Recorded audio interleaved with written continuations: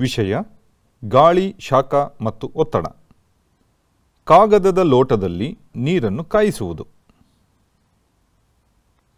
ಈ ಪ್ರಯೋಗಕ್ಕೆ ಅವಶ್ಯಕ ವಸ್ತುಗಳು, ಕಾಗದದ ಲೋಟಗಳು, ನೀರು, ಮದ್ಯಸಾರ ದೀಪ ಅಥವಾ ಮೇಣದ ಬತ್ತಿ ಮತ್ತು ಬೆಂಕಿ ಪೊಟ್ಟಣ ಪ್ರನಾಳದ ಹಿಡಿಕೆ. ಮೊದಲಿಗೆ ಪ್ರನಾಳದ ಹಿಡಿಕೆಯ ಸಹಾಯದೊಂದಿಗೆ ಕಾಗದದ ಲೋಟವನ್ನು ಉರಿಯುತ್ತಿರುವ ಸ್ಪಿರಿಟ್ ದೀಪದ ಮೇಲಿರಿಸಿ. ಕಾಗದದ ಲೋಟವು ಬೆಂಕಿಯಲ್ಲಿ ಹೊತ್ತಿ ಉರಿಯುವುದನ್ನು ಗಮನಿಸಬಹುದು. ನಂತರ ಮತ್ತೊಂದು ಕಾಗದದ ಲೋಟದಲ್ಲಿ ನೀರನ್ನು ತುಂಬಿ ಮದ್ಯಸಾರ ದೀಪದ ಮೇಲಿರಿಸಿ.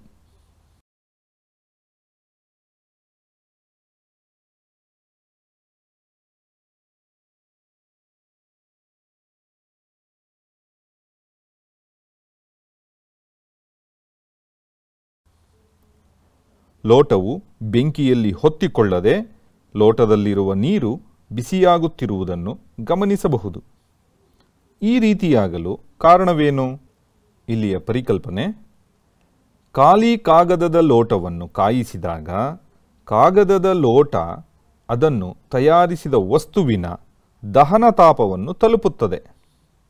ಆದರೆ ನೀರಿರುವ ಕಾಗದದ ಲೋಟವನ್ನು ಬಿಸಿ ಮಾಡಿದಾಗ ಆ ಲೋಟವು ಶಾಖವನ್ನು ತನ್ನಲ್ಲಿರುವ ನೀರಿಗೆ ಸಂವಹನದ ಮೂಲಕ ವರ್ಗಾಯಿಸುತ್ತದೆ.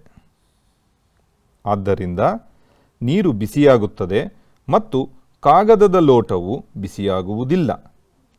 ನೀರಿನ ಲೋಟವು ದಹನ ತಾಪಮಾನವನ್ನು ತಲುಪದ ಕಾರಣ ಅದಕ್ಕೆ ಬೆಂಕಿಯು ಹೊತ್ತಿಕೊಳ್ಳುವುದಿಲ್ಲ. ನೀವು ಇದನ್ನು ಪ್ರಯತ್ನಿಸಿ.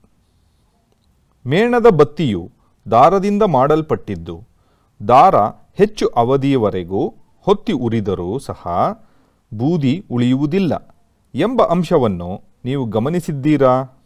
ಏಕೆ ಎಂಬುದನ್ನು ವಿವರಿಸಿ.